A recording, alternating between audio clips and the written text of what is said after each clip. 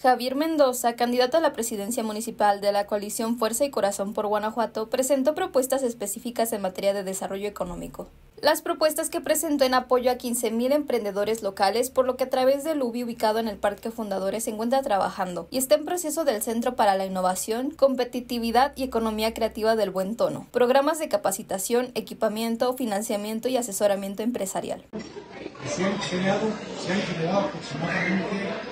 Mil nuevas empresas, mil empresas, tanto nuevas empresas como micros y pequeñas empresas, se han invertido, rebasamos ya el, presupuesto que teníamos para el trienio, estamos hablando de 3.700 millones de pesos de inversión ya para los tres años. Y tenemos una generación de empleos este, aproximadamente que será casi cerca de 10.000, 9.000 empleos nuevos, generados y empleos formales.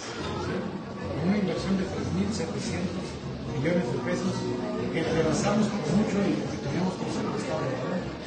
El candidato comentó que se busca dar continuidad a los programas en busca de que los recursos también se incrementen y con ello apoyar a más emprendedores que abonan al crecimiento de Celaya.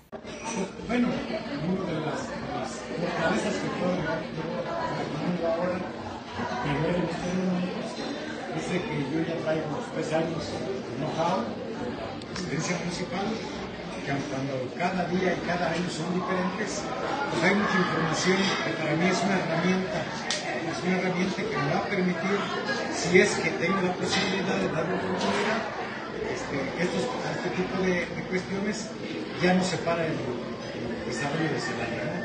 Ya el desarrollo de Celaya sigue con su propia dinámica, ¿sí? Hay, ya hay resultados que hemos dado, algunos son insuficientes por falta de tiempo, por falta de recursos, unos están concluidos, otros están en proceso, otros están en proyecto, ¿sí? de tal manera que nos permitiría darle continuidad y no parar el desarrollo de Celaya.